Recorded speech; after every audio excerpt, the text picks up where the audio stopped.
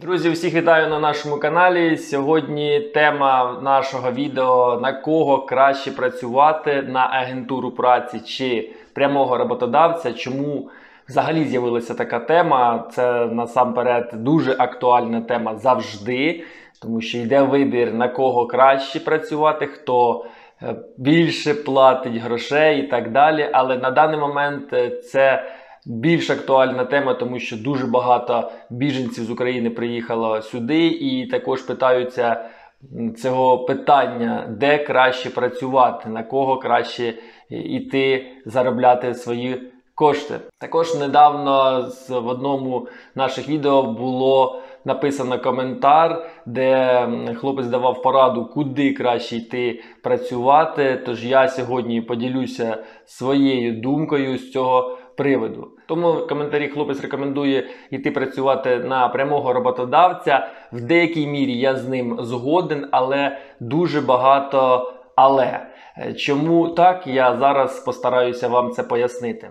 По-перше, почнемо з того, що дуже багато проблем зараз пов'язано з житлом, і прямий роботодавець не завжди може забезпечити усіх людей, які зараз приїжджають на даний момент житлом. Це було спочатку просто. Здавалося б, коли почалася тільки війна, і на початку люди виїжджали е, з України, і хто доставав це житло, е, хтось безкоштовно, хтось за якісь кошти. В більшості отримували всі це житло безкоштовно, але їхали з дітьми, з бабусями, дідусями. Тобто їхало дуже багато людей, і це житло дуже швидко закінчувалось. На даний момент уже. Після п'яти місяців війни з житлом дуже велика катастрофа, і це не тільки в Чехії, а взагалі по всій Європі. Тому це саме основне, що зараз е, вимагається від майбутнього е, роботодавця забезпечити людину житлом. Це головна проблема. І е, прямий роботодавець, на жаль, на даний момент не всі, не всі, можливо, хтось і може забезпечити, але не всі можуть забезпечити необхідним житлом.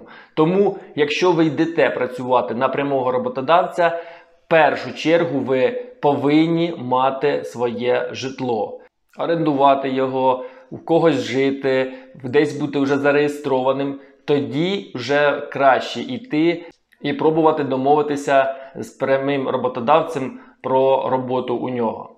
Це можна зробити вже тим людям, які зараз вже знаходяться в Чехії, які вже отримали візи захисту і вже трішки адаптувалися.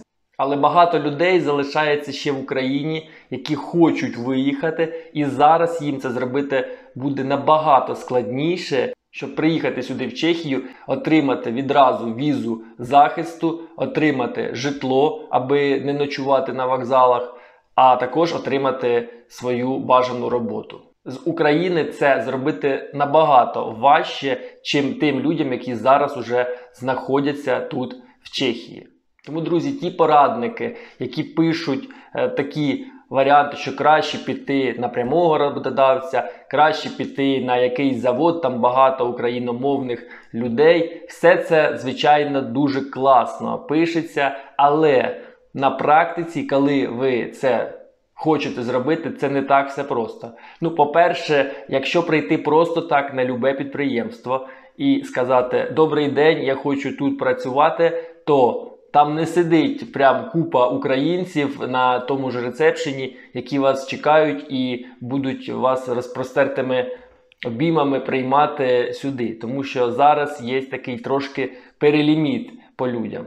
Якщо у вас є знайомі на якомусь підприємстві і вони за вас будуть клопотатися та підуть, наприклад, до HR-менеджера, щоб за вас домовилися та прийняли вас на роботу, респект, супер. Якщо такі люди є, то будь ласка, звичайно, йдіть і працюйте на прямого роботодавця. Але в більшості випадків таких людей мало. Тобто йти так просто на любе підприємство і щоб вас взяли на роботу, це буде дуже складно зробити. З іншого боку, всі біженці з України, які зараз приїздять в Чехію і отримують візу захисту, мають вільний доступ до ринку праці Чехії. Все класно, все супер, все для цього зроблено, щоб люди йшли не на агентури. Я з цим згоден також, але є певна проблема в мові. Не всі відразу розуміють і розмовляють на чеській мові. Для цього потрібен час. Декому місяці, декому роки. І як показує знову ж практика, ми зараз знаходимося в Чехії вже близько 4 років і бачимо, що деякі люди, які мають навіть тривалий побит, тобто постійне перебування в Чехії, розмовляють аби як чеською мовою, і багато людей працює також на агентурах. Тут ще дуже проста відповідь, чому так? Тому що ці люди не хочуть мати проблеми з розрахунками. Вони звикли отримувати, наприклад, якихось там 150 корун на годину, помножити на відпрацьовані години і отримаєте суму. Ніхто не хоче рахувати свої податки, хто скільки кому винен, хто платить скільки державі і так далі. Ну і самий головний пункт, до якого знову ми повертаємося, це житло. Житло на агентурах коштує дешевше. Тому, якщо зараз брати нинішні реалії, коли люди приїжджають з України в Чехію і не мають де зупинитися, то вони обирають, як правило, агентуру. Тому що, по-перше, агентура надає вам житло десь безкоштовно, десь не безкоштовно, але ви відразу приїжджаєте і вже знаєте місце вашого перебування. По-друге, надасть вам відразу працю. Також є моменти з приводу праці, тут трішки зупинюсь детальніше.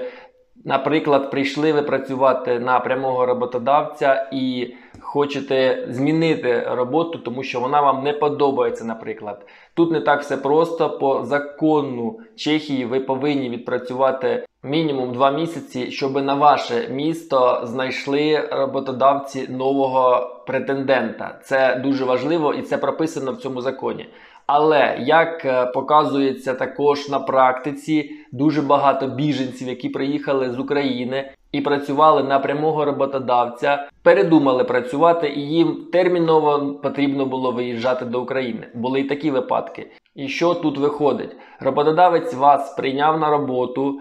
Платить за вас всі податки, платить вам зарплату, люди вас зашколюють, учать працювати. Але приходить місяць-два, і та людина, яка працювала на прямого роботодавця, передумує і каже йому, що я їду додому. І виходить так, що роботодавець у вас вклав зусилля, час, кошти, але люди просто беруть і розвертаються, їдуть додому.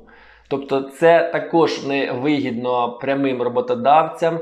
І вони наймають для цього агентури, які набирають цих людей і всю цю працю, всю цю бумажнину беруть на себе. Їм цим прямим роботодавцям легше заплатити кошти агентурі, щоб агентура цим займалася. Щоб роботодавець міг спокійно собі сказати: мені потрібно 20 чоловік. Агентура взяла і знайшла їм 20 чоловік. Може бути і так, що в якийсь момент роботодавець каже, мені вже не потрібно цих 20 чоловік, і йому не треба буде відшкодовувати ніяких збитків. Просто сказали, агентура взяла і забрала цих людей. І в цьому випадку також є один плюс праці на агентуру. Це такий момент, що якщо ви, наприклад, не підійшли якомусь з роботодавців, то ви можете на тій же агентурі змінити місце роботи. І ніяких проблем в цьому не буде. Так було і у нас, коли дуже багато людей приїжджало на якийсь конкретний завод, але не отримували там праці, і не було там, наприклад, місць чи не проходили якісь екзамени, то вони не їхали додому, а їх забирала агентура на інші місця. Це також дуже важливо. Тобто, друзі, підводячи підсумки всієї цієї дискусії, я вам хочу сказати, вибір, звичайно, залишається за вами, але не забувайте, що досить багато прямих роботодавців не хоче просто зв'язуватися напряму з іноземцями, щоб не було цієї рутинної праці. На жаль, це правда, і багатьом роботодавцям легше найняти працівника з агентури, щоб потім, якщо щось станеться, їм легше прощатися з цією людиною. Така є реальність. Інший пункт це житло. Не кожен роботодавець може надати вам житло безкоштовне чи не безкоштовне. Це в основному гуртожитки. Якщо ви самі собі орендуєте місце, то тоді, звичайно, можна йти працювати на прямого роботодавця. Якщо з цим є проблема, а це, як правило, є проблемою, тому що, наприклад, дуже багато людей приїжджає і хоче відразу орендувати, наприклад, якусь квартиру, там однокімнатну чи двохкімнатну. Але це також е, дуже великі кошти. Це не так, як в Україні. Просто приїхати, хочу зняти квартиру, маю гроші, будь ласка, беру. Ні, тут не так все це працює, і ми про це розповідали раніше. Я вам так декілька слів скажу про оренду квартири. Якщо ви приїжджаєте сюди, то вам треба знайти, по-перше, цю квартиру. Це дуже складно зробити, тому що дуже мало цих квартир здається в містах. А якщо і здаються, то за дуже великі кошти. Це перше, друге, це треба ще е, домовитися з хазяїном, щоб він взяв іноземців. А як показує також практика, дуже складно це зробити, тому що перше, ви не знаєте мови.